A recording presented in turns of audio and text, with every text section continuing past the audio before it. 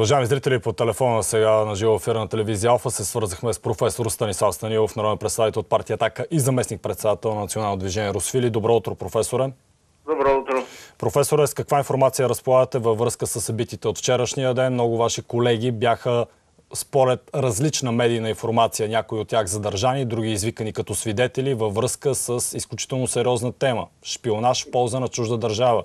Как ще коментирате и с каква информация разполагате? Никаква информация не разполагам, разполагам с тази информация, с която разполагате и.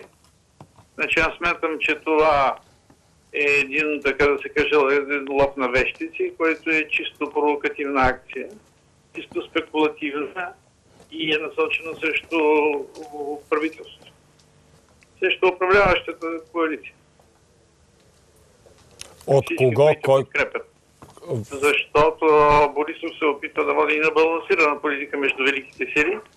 От това се знае кои не са доволни и са, са провокирали една такава акция, която наистина прилича на лов на вещици от края на 50 години в Съединените щати. Е, нищо, нищо да няма да доведе. Освен това, подобни изпълнения ще делегитимират българите, образа на българите в руското общество, което е една от целите на акцията.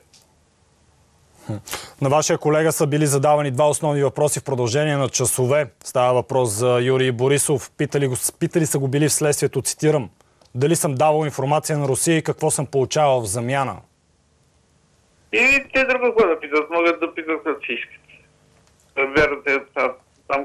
Са сложили на разпит и, и, и да подозират нещо, явно, че ще задават провокационни въпроси. Професор, професор, това се случва на 9 септември, това се случва по време на предизборна кампания, случва се и буквално дни преди да се проведе и Националният събор на приятелите на Русия. Умишлено е направено. И, и заради събора, и заради тази комплекс, и заради 9 септември, и заради изложбата, и най-важното заради изборите. Как ще се развие ситуацията от тук нататък? Какви са вашите очаквания? Нямам очаквания. Очаквам примерно мен да извикат. Вас да извикат? В качеството ви да на заместник Аз съм заместник председател на движението. Хм. Могат да ми поискат имунитета и да ме арестуват, могат да ме извикат като свидетел, за което не е нужно да си давам имунитета. Общо взето така е. После въпросният генерал, чието име постоянно го премятат, е моят най-близък приятел в Русия, колега и съквартирант, така да се каже, от аспирантско време. Говорите за генерал Решетников? За него говоря.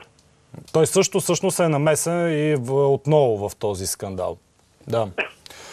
Добре, благодаря ви, професоре, за, за интервюто, което дахте в минутите на Добро утро Българ.